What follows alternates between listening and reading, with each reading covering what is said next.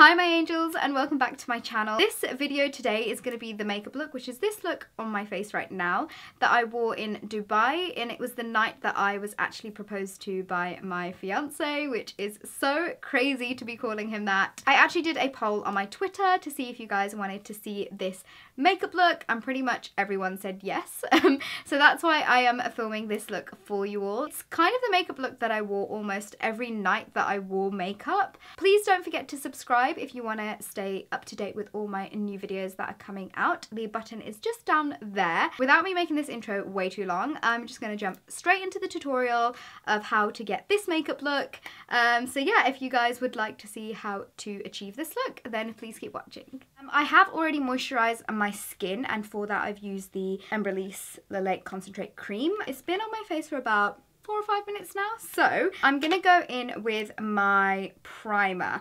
Um, so in my primer, I actually mixed some of this Body Shop Insta Glow CC Cream in a peach shade. And this is just to help neutralize any kind of areas where I've got kind of like darkness, any pigmentation. And I'm just to mix it into my Makeup Forever Step 1 Skin Base Smoothing Base Smoothing Primer. I always seem to make names up whenever I'm like doing chatty videos. I'm mixing both of them onto my fingers and then I'm just going to go ahead and apply that to my face.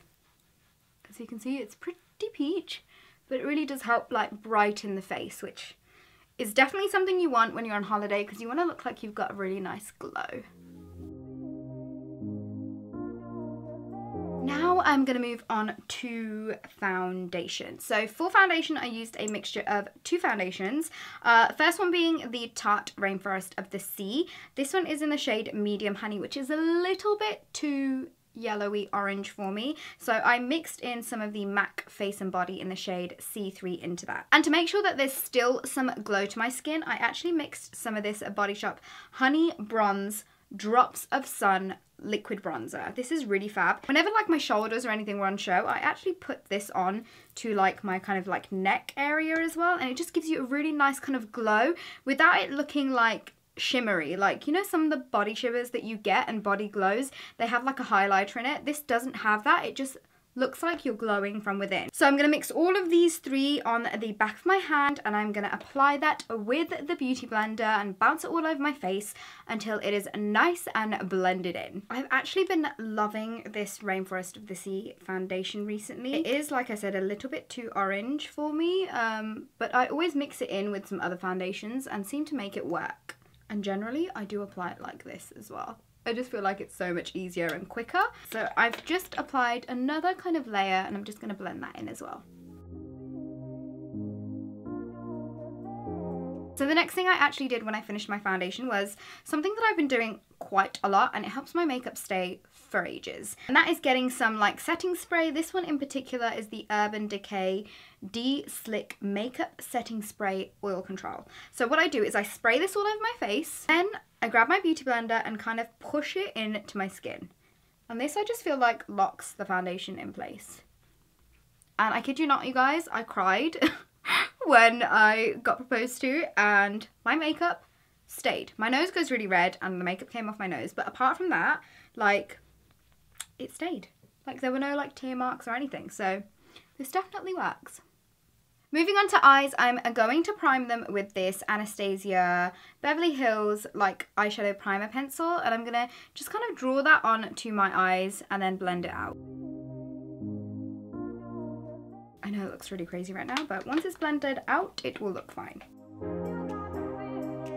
And then I'm to set that all in place using the Kick Ass Soap and Glory powder. And this is to make sure that the eyeshadows blend in really nicely. I kid you not, you guys, I did my makeup in like, I want to say 15 or 20 minutes because everything was done to like a timeline. I had to be ready for a certain time. I was told that we were going to some event. So I had to rush my makeup and it looked pretty good at the end of it. So you can definitely do this when you're rushing, but whenever I'm doing like tutorials and sitting down and filming, it just takes longer because I end up talking for ages and I end up explaining stuff. So yeah, the majority of the eyeshadows that I used, um, apart from the glitters, were from the Tartelette in Bloom palette, which, I kid you not, is beautiful. Like, I didn't realise how good quality the Tarte eyeshadows were until I got my hands on this. I actually also bought the original Tartelette palette as well. I feel like this one is more of a summery palette and the other one's all matte, so it's more of like an autumn winter palette for me. First, taking the shade Charmer, which is this like bone colour shade here, we are to apply that to the brow bone.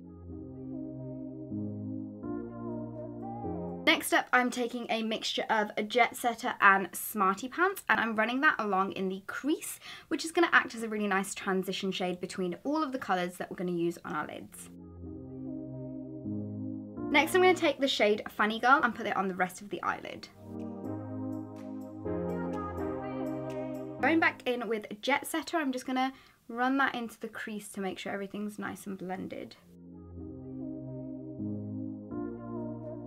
Moving on to the glitter, I actually use this Makeup Forever Diamond Dust. Diamond powder, I think that's what it's called. I will leave the full name of it in the info box below, but what I did was I sprayed my brush. Um, this is just the Luxe Smoky Shader Brush by Zoeva. I'm just spraying the brush.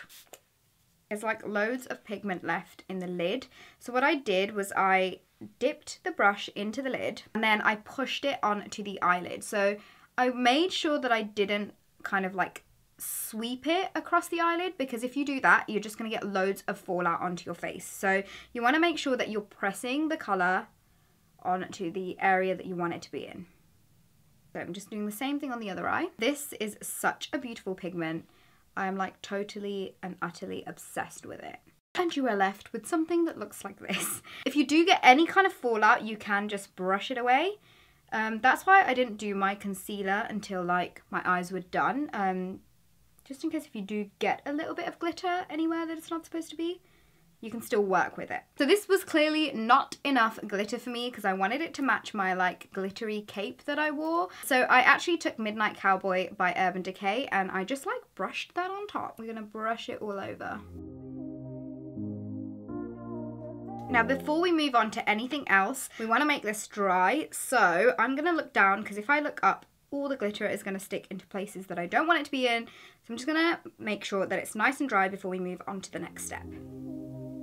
So once everything is dry, we're going to work on the crease a little bit more because I didn't want it to be so harsh. I did want it to be kind of more blended. So I took the shade Rebel, which is this really warm, like brick brown. So it's got undertones of red in there, which is really beautiful because it really matched like all like the different stones going on on my cape. So I'm going to put that into the crease. And I was so surprised at how pigmented these were, so I definitely see what the fuss is about.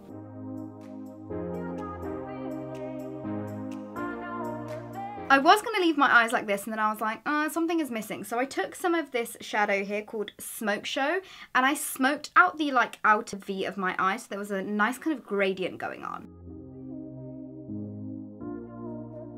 So I'm working that colour into the outer V and then slightly kind of blending it into the crease as well.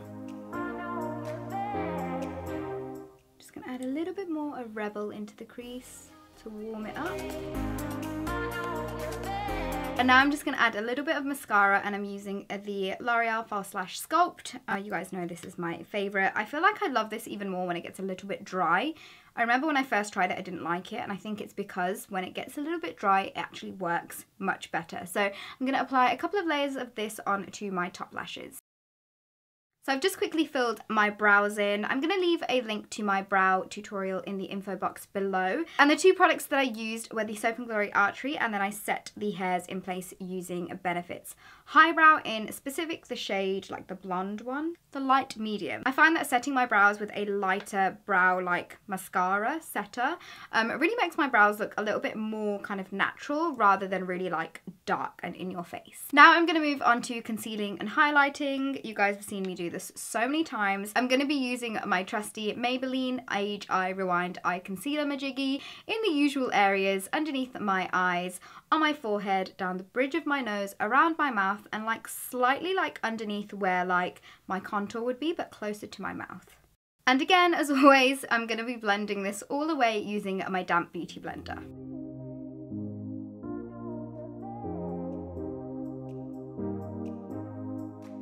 And to make sure that those places don't budge, I'm putting some more of that Kick Ass Soap and Glory powder on top. I was all about like the bronzer when I did this look. So I actually went in with the L'Oreal Glam Bronze Cushion Bronzer. So this is basically the same packaging as their sponge foundation comes in, but inside here you have a liquid bronzer, which is very, very, very similar to the Giorgio Armani one.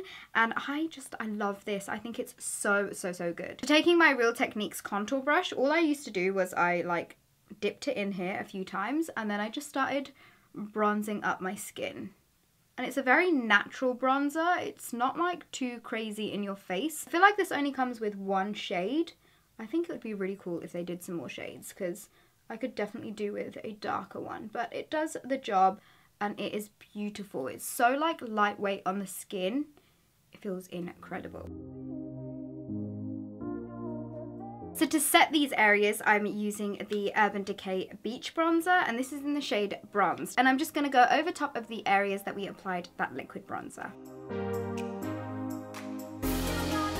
So I did contour really, really slightly just on my cheekbones and my nose, and this was just to kind of make sure that everything is not looking too like bronzy and there was a bit of element of contour in there but nothing too much so I actually took with me this Diego Dalla Palma like contour kit and this is so so good. You've got like a warm shade two cool tone browns which you guys know I love a highlight and like a banana shade to like set any kind of concealer areas. So when I wore this I took a mixture of the two cooler toned browns and really kind of focused it on the kind of cheekbone area and then my nose as well.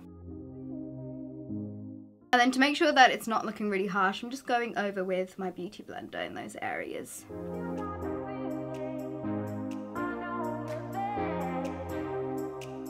I'm just going to finish the rest of my cheeks off and I'm taking Gilded Honey by Laura Geller and I'm using a fan brush to just apply it to like the tops of my cheeks. I did go quite heavy with the highlighter because I wanted to look really bronzed and glowy. So I'm taking that up into the brow bone and then back down on the cheek. I'm also taking this down the bridge of my nose and my cupid's bow too. Because I wanted to be super, super highlighted and super glowy, um, I took my Fix Plus spray and sprayed it just in the tops of my cheeks areas where we applied the highlight. So you want it to be a really, really light mist, so you don't want to spray it too close to your face. So um, about two or three sprays is more than enough. And then what I did was I pressed that into the skin And then as soon as you start it to like kind of dry off, I took Dripping in Gold by Anastasia Beverly Hills and I dusted that on top. And it really like makes your highlight super, super, super poppy. So as you can see, it is pretty highlighted. So for blush, I took actually one blush palette with me and that's this Freedom blush palette right here. But I basically took a mixture of this colour and this colour right here and applied that to the apples of my cheeks. And this is super pigmented, so you only want to use the slightest amount, not as much as I just used, um, but you can always dust the rest off. I'm going to finish the rest of the eyes off. I'm taking my nude eyeliner by Charlotte Tilbury and aligning my lower waterlines. Taking my Urban Decay Perversion eyeliner and aligning my upper waterline. And to finish the lower lash line off, I am taking the shade Rebel, which is that warm, bricky, browny red, and really diffusing that out into that area. And before I forget, I'm going to apply some of the False Lash Sculpt Mascara to my lower lashes. So for my lipstick, I surprisingly only used two products. The first one was Anastasia Beverly Hills liquid lipstick in the shade Ashton and I put that all over my lips.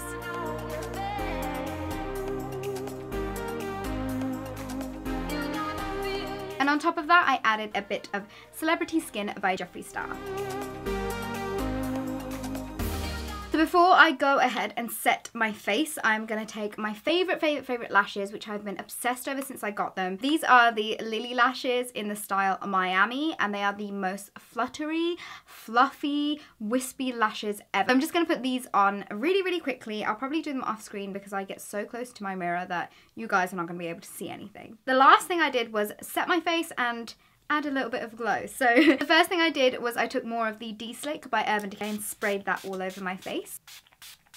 And to add some extra luminous glow to my skin, I used the Tatcha Luminous Dewy Skin Mist, which is incredible. It really does make you look really, really glowy. So I took a few sprays of that and sprayed that on my face as well.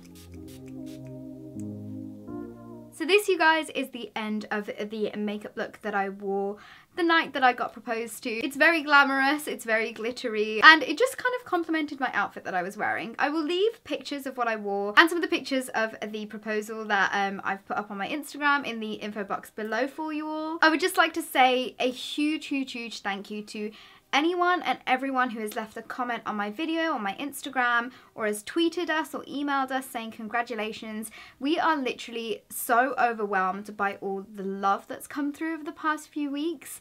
Uh, we really did not expect it. Um, we don't really share much of our relationship on the internet and this is one thing that we definitely wanted to share with you all. So um, thank you again so much for all the love. You guys are honestly incredibly amazing. Thank you so, so, so much. So yeah, this is the end of this video. Um, I do hope you like the makeup look, but I'm going to leave the video as that because I'm pretty sure it's quite long already.